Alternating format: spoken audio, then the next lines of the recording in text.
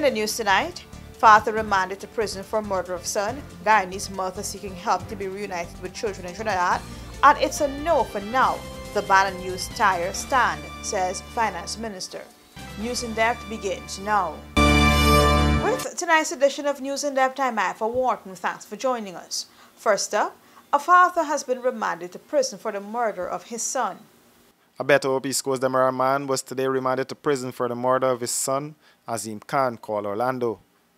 The man, 40-year-old Omar Khan, appeared in the Sparendaam Magistrate Court before Magistrate Alicia George, where he was not required to plead to the capital offense.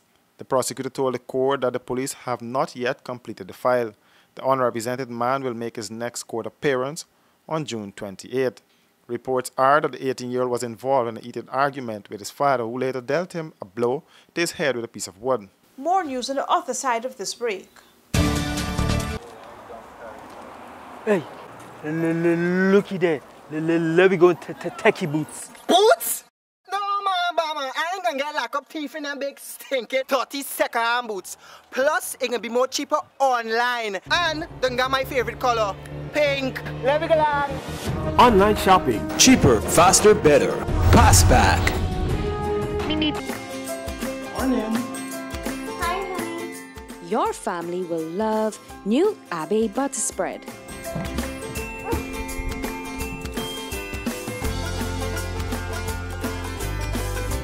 Thank you, Mommy. A heart healthy choice with no cholesterol. Abbey is ready to use right out of the fridge. Smooth, spreadable, rich, and creamy, Abbey is a great tasting butter spread. Try it today. Nothing compares to the class and beauty of Beeson windows and doors. Engineered by professionals and built to last longer than the competition. Buy 10 windows and get one 24 by 16 bathroom window absolutely free. No tricks, no gimmicks, and no hidden fees. Prices starting from 13.5 VAT inclusive. So visit our showroom today at Lot 1228 New Eccles Industrial Site or BPAT's building on Regent Street and save big on UPVC or aluminum windows. To order now, call 622 4197 or 226 1292. Welcome back. A Guyanese mother is pleading for assistance to be reunited with her children in the Twin Island Republic of Trinidad and Tobago. It is almost a year since Shaniza Sampson has last seen her three Trinidadian daughters after she was refused entry into the Twin Island Republic last year during a bitter custody battle over her kids.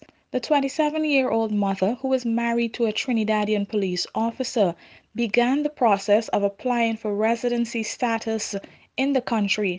However, that process was placed on hold by her now estranged husband after the couple began experiencing marital troubles. Even though the young mother is distraught, she is not given up hope of being reunited with her daughters before the end of this year. She also has plans of petitioning the court for custody of her daughters. It's hard because I only get to talk to them on Sundays. So it's like the hardest thing for me. You can't get to like hold them and I even miss my last daughter's third birthday. The Rosehall Town born resident said she moved to Trinidad when she was 18 years old in search of a better life. It was there that she met her husband and gave birth to her three children. During the initial stage of their separation, her husband was given custody of their two eldest children, aged 7 and 5, while she was given custody of their then two week old baby. Eventually, Sampson's husband gave her the other two children. However, she started to encounter financial difficulties and decided to return home with her youngest child to get back on her feet in 2015. Her decision was also based on the fact that her husband stopped the processing of her residency papers. We would have to go back to court to see who would get custody of the children, of our children, and we'll finalize everything because as a mother, it is the hardest thing for me to have to go through to bring three children in this world, especially girl children, and not be able to raise them. She's also trying to raise funds for a lawyer's fee and transportation to the Twin Island Republic. Every guy loves toys, so here's a reason to get more toys. Stag Beer, Man Toys. Not one, but two cars. An Audi A4 and a BMW 320i are up for grabs. Plus, VR sets, flat screen TVs, motorcycles, and coolers filled with Stag. Drink Stag, save your crowns, and enter six Stag crowns with your contact details for a chance to win in five big drawings with Stag Beer Man Toys. Conditions apply. See press for details. Your family will love new Abe butter spread.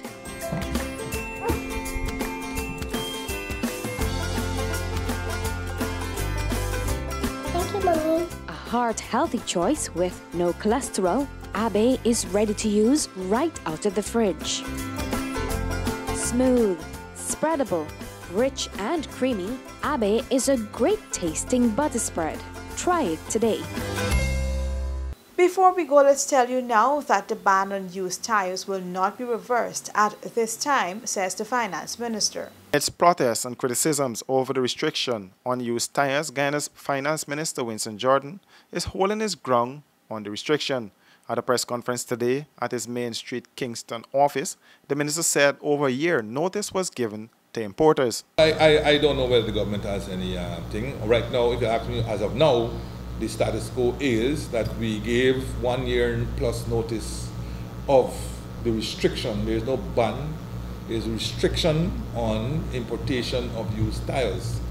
Uh, right? We gave over a year notice, a year and uh, four, a year and three months notice we gave. So that's 15 months notice we gave of this. So if you're given 15 months notice of such a thing as that's going to happen, then you have 15 months to make necessary adjustments. We have done that. We have indicated why we have done so. Um, and uh, as of now, uh, that is our um, that is our uh, policy as it relates to importation of used tires for the categories of uh, vehicles that are stated within the uh, law. Eon Andrews, president of the United Minibus Union, said the ban will have negative effects on operators plying their trade. Importers have been calling for more consultation on the issue. The restriction on the importation of used tires was announced in the 2017 national budget. That's a wrap for this edition of News in Depth. Do join us again, same time tomorrow for another edition.